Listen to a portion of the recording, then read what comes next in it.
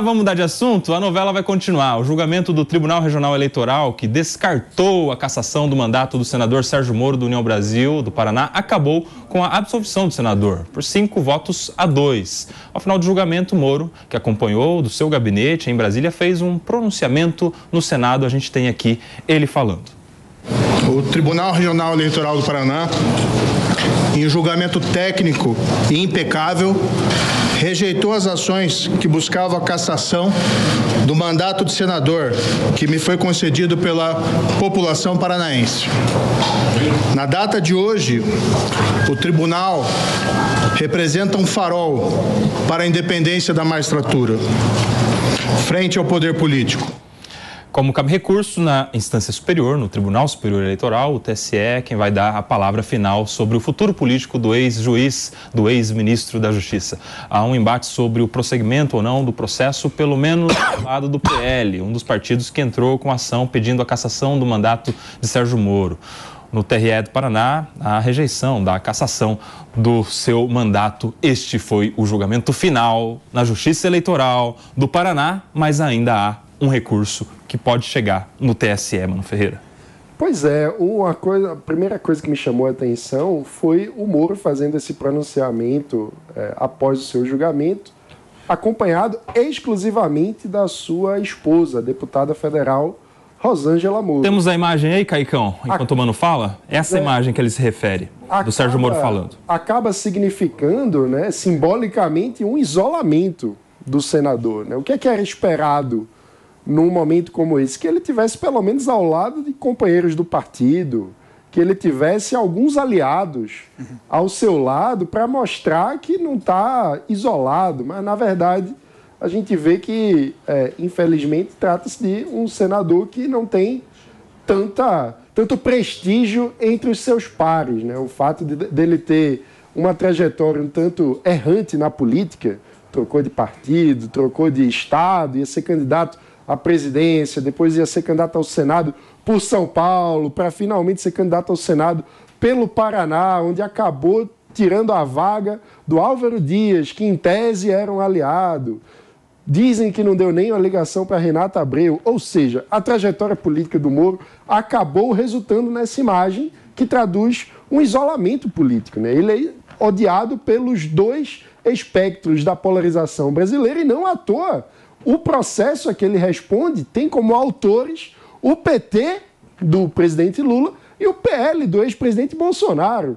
Ou seja, o Moro é uma figura que é capaz de unir Lula e Bolsonaro a partir da negação, né? a partir do ódio. São 10 horas e 25 minutos, a gente vai para um rápido intervalo para você que está na rádio.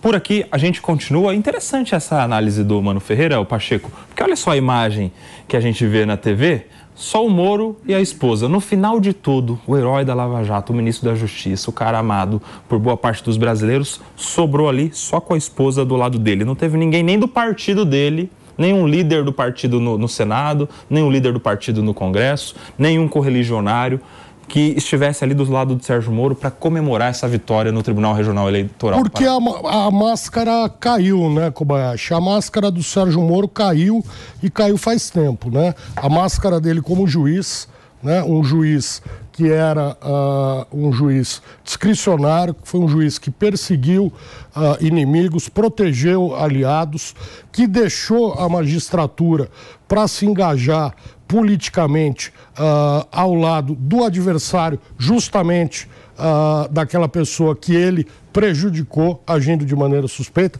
Para ser bem claro, ele deixou a magistratura para ser ministro da Justiça à época, no início do governo do ex-presidente Jair Bolsonaro, que foi eleito porque, por conta do Sérgio Moro, o candidato Lula não pôde ser candidato. Né? E o, o Bolsonaro acabou vencendo a eleição por uma, o Lula fora na disputa. A, a, Essa atribuição causal é um pouco complicada, né? O Bolsonaro foi eleito porque o eleitor, o foi, eleitor lá foi, lá, e, votou. votou. Mas ficou impedido de votar no Lula. Ah, e ficou impedido de votar no Lula por causa do Sérgio Moro. Ah, então, assim, ele teve uma atuação como juiz errática. Depois, ah, ele vestiu a carapuça, se tornando ministro do Bolsonaro. Aí ele não foi fiel ao próprio Bolsonaro, procurou se candidatar para o São Paulo, foi impedido pela Justiça Eleitoral de São Paulo, foi candidato pelo Paraná. Primeiro se apresentando como candidato de presidente e levando uh, verbas de candidato a presidente que são muito superiores. Milhões. A verba, muito, em milhões e milhões de reais, muito superiores à verba do candidato ao Senado, e aí ele acabou saindo ao Senado. Por isso, uh, esse isolamento. Agora, eu queria dizer também, Koba, uh, aí, que caçar um mandato de um político que foi eleito pelo voto popular é algo muito grave. Então o tribunal tem que ter muito critério e muito cautela. Você vê que o placar aí foi de 5 a 2, né? Ah, o tribunal não teve aí unanimidade, né? Nem eh, eh, ele foi mantido ah, ah, o mandato dele, mas dois ah, desembargadores eleitorais entenderam que não, que era o caso ah, de cassação, justamente pelo que eu comentei, por ele ter tido uh, uh, a verba para pré-candidato a, pré a presidente. Agora, uh, havendo recurso do PL, do PT ou de um dos dois partidos. Ou do Ministério Público Eleitoral. Ou do Ministério Público Eleitoral também, o caso vai subir ao TSE, ao Tribunal Superior Eleitoral, que vai dar a palavra final aí sobre a questão. Eu quero relembrar que o Deltan Dallagnol o ex-deputado Dallagnol também passou ah, por um julgamento no Tribunal Regional Eleitoral do Paraná, onde ele obteve seis votos a zero para manutenção de seu mandato de senador. E lá, com o recurso no Tribunal Superior Eleitoral, a coisa se inverteu completamente. Houve unanimidade para caçá-lo. Houve unanimidade para caçá-lo. Então o Sérgio Moro, ele ainda não tem nada a comemorar, não. Tem que esperar. Ele, né? ele tá com a cabeça na guilhotina. Ô, ô Telhada, o Pacheco falou da questão jurídica e toda, eu quero saber da questão política. A política não aceita deslealdade, né? O cara vai pré-candidato por um partido, sai, nem liga, muda para o outro, vira candidato a outra coisa, depois de ter usado tantos milhões. O cara vira ministro, ele sai atirando contra quem escolheu ele para ser ministro. A política não aceita essa deslealdade a ponto do cara se tornar um isolado. Né? Abraça o último ministro do STF. Pois é. Celular. Realmente, se tem uma coisa que eu estou aprendendo na política, ou pelo menos constatando, é que a sua palavra, a palavra do político, tem sim muito valor, ainda é muito no fio do bigode. Isso é fato. Muitas das coisas na política não se escreve, não se assina. Então é a sua palavra que está empenhada. É, realmente as ações do, do, do, senador levaram a esse isolamento da imagem, muito bem constatada por vocês, e levou inclusive a essa ação sai senador, sai governador, sai por um estado, sai por outro, é um dos, dos motivos da ação ter iniciado aí de cassação. Mas também eu não posso é, negar que existe sim o revanchismo. Existe, ao meu ver, é, principalmente na ação do PT, isso, é, essa contaminação da vingança, do revanchismo, ela é latente.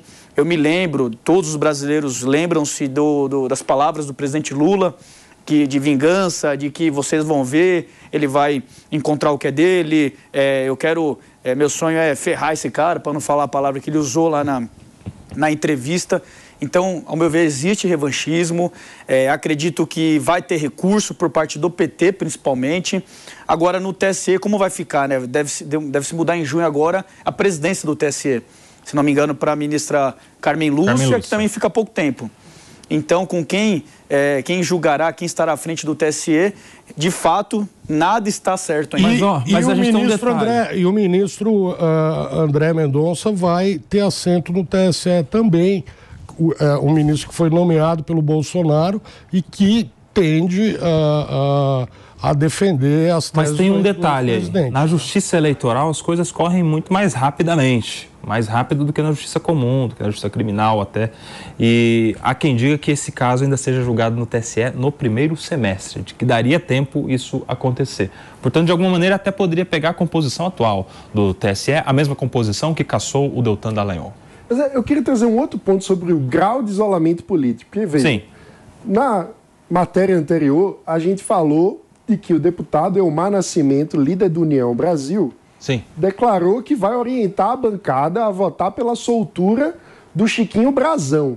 Ou seja, o, o líder do partido de Sérgio Moro veio a público para dizer: não, vamos apoiar a soltura do cara que foi é, apontado pela Polícia Federal como mandante do crime que matou Marielle.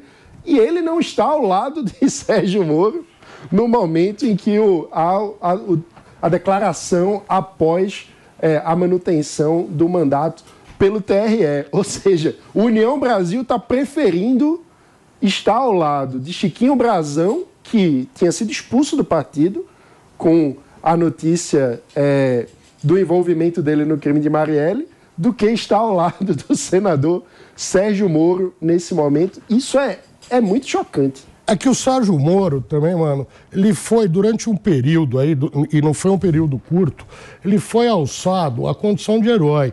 Isso sobe a cabeça Símbolo. do cara que não está preparado. Ele, ele teve um momento em que ele ficou achando que ele era a última bolacha do pacote.